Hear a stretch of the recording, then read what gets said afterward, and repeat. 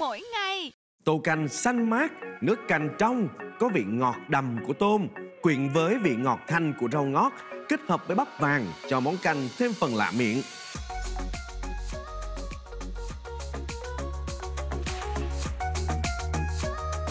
Ngày hôm nay Phước Hương Sứ hướng dẫn cho Minh Tuấn cũng như là các bạn một cái món canh đó là món canh tôm bồ ngót. Và cũng theo lời của chuyên gia dinh dưỡng thì món ăn ngày hôm nay giảm khối mỡ thừa cho cơ thể, rất tốt. Tôm đất chúng ta lột hết vỏ, lấy chỉ lưng và băm sơ. Hương sẽ cho vào đây nửa muỗng cà phê muối, nửa muỗng cà phê bột ngọt Ajinomoto, nửa muỗng cà phê tiêu, một muỗng cà phê hành tím băm. Trộn đều gia vị lên cho tôm được thấm vị. Tiếp theo chúng ta nấu canh. Hương sẽ cho vào đây khoảng một muỗng canh hành tím băm để chúng ta phi thơm. Cho hết cái phần tôm mà mình đã ướp vào. Chúng Hương phải xào. Phần tôm cũng đã săn dậy lên mùi thơm rồi. Hương sẽ cho vào đây một lít nước dùng để chúng ta nấu canh. Vớt một ít bọt ở bên trên. Hương cho cái phần bắp mà mình đã bào vào. Và đối với món ăn ngày hôm nay thì chúng ta sẽ bào bắp dày khoảng 2mm Không bào sát cùi để bị lẫn sơ khi ăn thì bắp sẽ giòn và ngon hơn. Phần lá bù ngót, trước khi nấu thì chúng ta sẽ vò sơ, giúp cho rau mềm và rau bù ngót không bị chát. Cho vào đây nửa muỗng cà phê bột ngọt Ajinomoto, một muỗng cà phê muối. Cuối cùng Hương sẽ cho vào đây nửa muỗng canh nước mắm,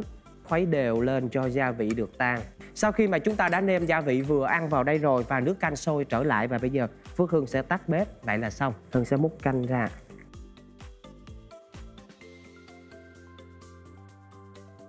Cuối cùng Hương sẽ rắc lên trên đây một ít tiêu.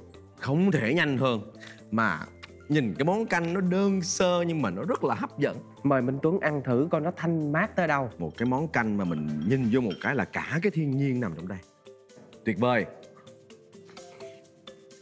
Uhm, Cái nước canh nó cực kỳ thanh đạm Ngọt thanh. Cái phần rau ngót á, thì hả là nó rất là thơm mùi đặc trưng của nó. À, Tôm á, thì dai ngọt thịt cái phần bắp bỏ vào rất là tinh tế luôn. Một cái món mà đơn giản như vậy nhưng mà tuấn lại không ngờ nó lại cho mình một cái trải nghiệm vị giác rất là hấp dẫn luôn. Các bạn hãy thử nghe món canh này nha. Và để đạt được hiệu quả dinh dưỡng thì các bạn nên tham khảo món ăn ngày hôm nay cùng với bản thực đơn sau đây.